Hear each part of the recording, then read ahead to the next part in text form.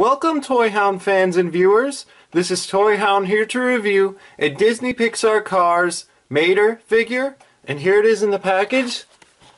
That's what it shown on the package. Disney Pixar Cars. It's for 3 plus. And it shows Lightning McQueen. There's Mater in the package. Right there. And that's what it looks like on the back. And the other ones you can collect. And it's produced by Beverly Hills Teddy Bear Company which is the same company that made the Monsters Inc. figures and the Finding Nemo toys. That's the Disney.com.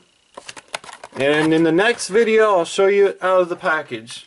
And here, as you can see, is the Disney Pixar Cars Mater figure out of the package, or Tow-Mater. And I have a little comparison next to the diecast helicopter from the Cars line Mattel produced. I forget the name of the helicopter, but I still think it's pretty awesome. Actually, one of my favorite characters from the movie. Besides Snot Rod, I do like Snot Rod. Anyhow, I did it for size comparison. And this Mater figure is not really 150 scale. I don't really think this is 150 scale, but I'll put that off to the side. He's more of a 164 scale about the size of a Hot Wheels car. And that's what it looks like on the side. A lot of nice molded in detail. It's not super painted detail like the 150 scale uh, Tow-Mater that Mattel produced, the diecast version. But still nice. And then it says Tow-Mater Towing and Salvage Radiator Springs.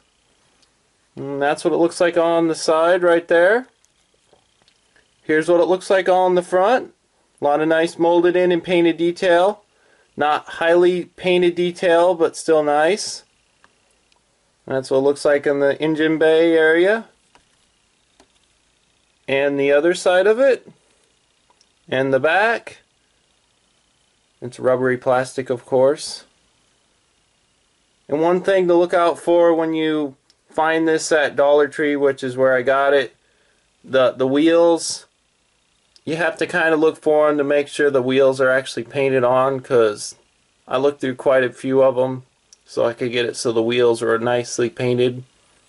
And it does have the dually tires. Does have molded in axles and drive shaft right there. Does flex back and forth. And that's Tow-Mater.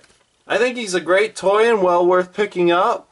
And if you can't find the 150 scale version of Tow-Mater, he's a nice substitute. Anyhow, if you'd like to see more videos, be sure to subscribe, leave a comment down below, and stay tuned for more reviews.